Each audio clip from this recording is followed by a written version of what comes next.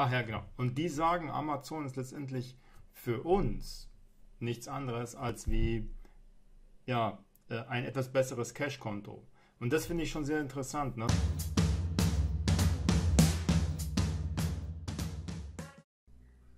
Hallo, grüß euch. Heute herzlich willkommen zu diesem neuen Video. Heute geht es ähm, um äh, zwei verschiedene Aktien. Primär, ich habe erst vorletzt, äh, vor kurzem hier ein Video gemacht zum Thema ähm, Amazon. Jetzt finde ich es gerade wieder nicht. Wo ist es denn? Da ist es. Ähm, Hello guys. Ich überlege mir gerade. Und ich verlinke euch das Video hier auch nochmal, wo ich gesagt habe, naja, Amazon ist eigentlich letztendlich über den letzten Zeitraum seitwärts gelaufen, wo letztendlich der komplette Markt, ähm, ich muss mal kurz äh, meinen Espresso hier ein bisschen ziehen, äh, sonst wird er kalt. Oh, ist noch zu heiß gewesen, scheiße.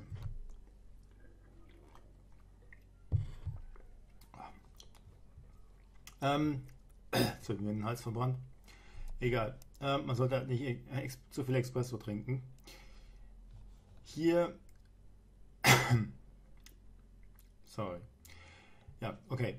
Uh, back to, to the subject. Ähm, was wollte ich jetzt sagen? Jetzt, jetzt habe ich mich natürlich hier wieder vertan. Ach Gott. Muss ich rausschneiden, unbedingt.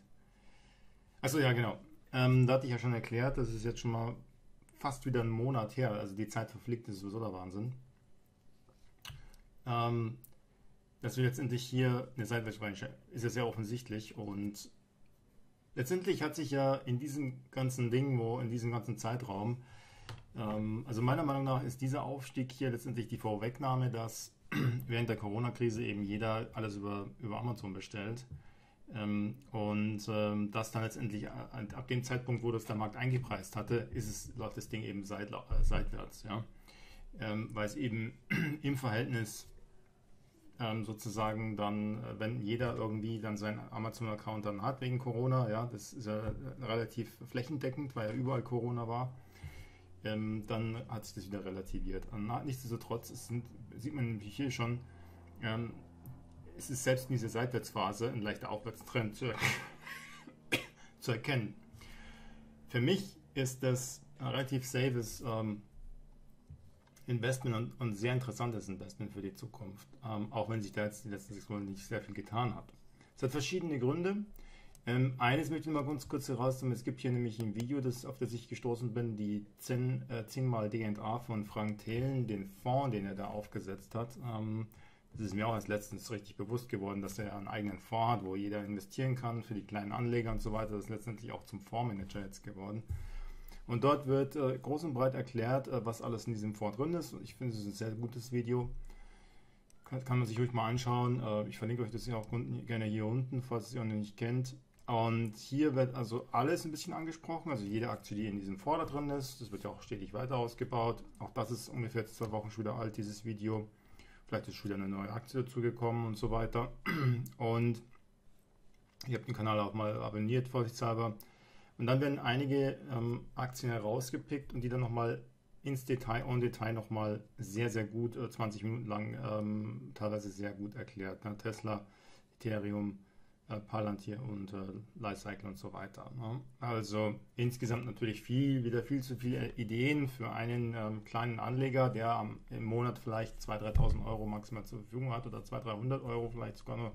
Also äh, es gibt immer mehr Dinge, wo man investieren kann, als man Geld hat ähm, als äh, Anleger. Ja? Und ich gehe mal stark davon aus, dass du auch zu diesen ähm, ja, ganz normalen äh, Endverbrauchern und Anlegern gehörst äh, und kein äh, Multimillionär bist, weil dann schaust du dir wahrscheinlich auch keine YouTube-Videos an diesbezüglich. Auf jeden Fall, ähm, was wollte ich jetzt wieder sagen? Wieder, wieder, wieder verloren hier. Äh, egal, okay. Ähm, ach ja, genau. Und die sagen, Amazon ist letztendlich für uns nichts anderes als wie ja, äh, ein etwas besseres Cash-Konto.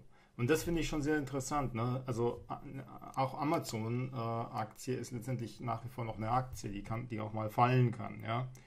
Aber der Portfolio-Manager, der, der Herr hier von, äh, von, äh, von diesem Portfolio von Frank Thelen, ähm, wie heißt denn das nochmal?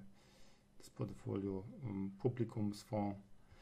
Ähm, der sagt, Amazon sehen wir, wenn wir Cash übrig haben, wo wir jetzt noch nicht genau wissen, wo wir das investieren wollen, sondern irgendwann mal in der Zukunft, um letztendlich das nicht irgendwo auf dem Bankkonto verhungern zu lassen oder mit Minuszinsen belegt zu haben, tun wir uns mal, kaufen wir uns mal von, unserem, von unserer Cash-Reserve einfach mal Amazon-Aktie. Ja?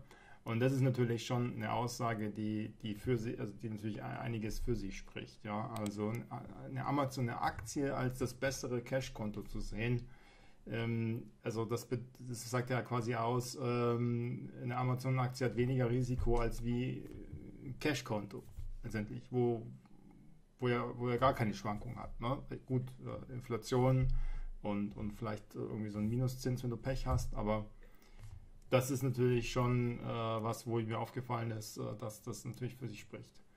Und ja, das wollte ich einfach hier nochmal kurz äh, schreiben. Ich bin ja gerade dabei, ähm, für meine Eltern auch ein Aktiendepot ähm, aufzubauen und äh, die waren ja auch so ein bisschen äh, immer so reluctant und so, also äh, widerspenstig, also sehr vorsichtig und so. Und letztens kam mein Vater vorbei und sagte, hey Thomas, wir haben uns jetzt entschieden, ja, Mama und ich, äh, wir haben uns jetzt entschieden, ähm, wir werden auch äh, 10, mit 10.000 Euro gehen wir rein. Ja. Und äh, dann habe ich gedacht, wow, okay, das habe ich jetzt nicht erwartet. Ne?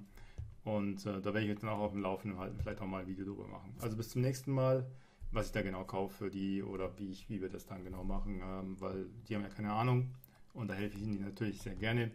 Und äh, wie, wir das, wie wir uns da auch genau absichern und für was wir uns da entscheiden, da mache ich ein extra Video drüber, wird bestimmt auch sehr interessant. Also nochmal von neu einen konkreten Ding aufbauen.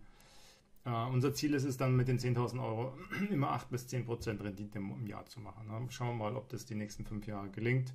Ähm, da werde ich dann auch eine Videoserie draus machen. Wird auf jeden Fall sehr interessant. Bis zum nächsten Mal, dein Thomas Klein und hau rein. Happy Hunting. Ciao, ciao.